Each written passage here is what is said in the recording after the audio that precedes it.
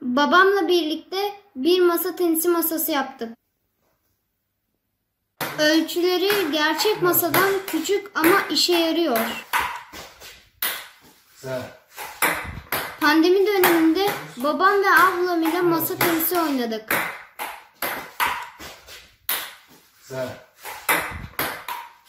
Çok eğlenceli bir spor.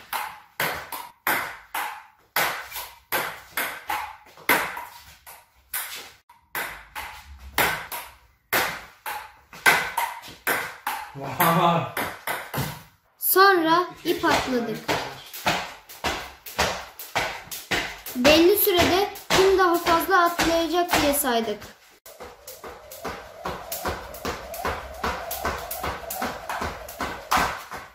Umarım bugünler geçince bisikletimle de dolaşacağım.